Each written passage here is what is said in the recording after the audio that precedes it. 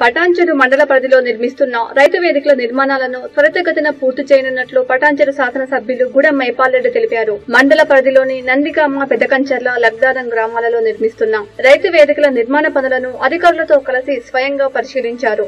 నాణ్యత విషయంలో ఎక్కడా రాజీ పడకూడదని నిర్దేశిత గడువులోగా నిర్మాణాలను పూర్తి చేసి రైతులకు అందుబాటులోకి తీసుకుని రావాలని సూచించారు. ముఖ్యమంత్రి కేసీఆర్ సమున్నత లక్ష్యంతో ప్రారంభించిన సమగ్ర వ్యవసాయ సాగు విధానం ద్వారా వ్యవసాయ రంగం మరింత అభివృద్ధి పథంలో ముందుకు వెళుతుందని అన్నారు. ఈ కార్యక్రమంలో ఆయా గ్రామాల సర్పంచులు ఉమాపతి గోపాల్ సువర్ణ మాణిక్ రెడ్డి రాజ్ కుమార్ ఎంపీటీసీలు వెంకట్రెడ్డి లక్ష్మణ్ పంచాయతీరాజ్ అధికారులు టీఆర్ఎస్ పార్టీ సీనియర్ నాయకులు వెంకట్రెడ్డి దశరథ రెడ్డి తదితరులు పాల్గొన్నారు.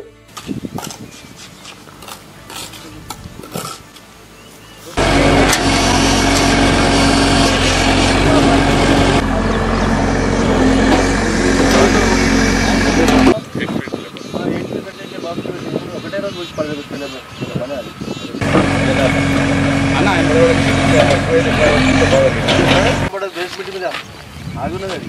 దాని తర్వాత అది నడిచినట్టుగా కరెక్ట్ ఆగి గౌరవాలు ఇచ్చేసి. మళ్ళా కాలం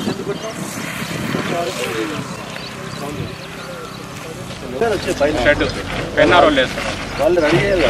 రెడీ వాళ్ళు వచ్చినట్టున్నారు ఇది ఫ్యాబ్రికేషన్ వాళ్ళకి స్టార్ట్ చేసుకోవచ్చు. చెప్పేసి మళ్ళీ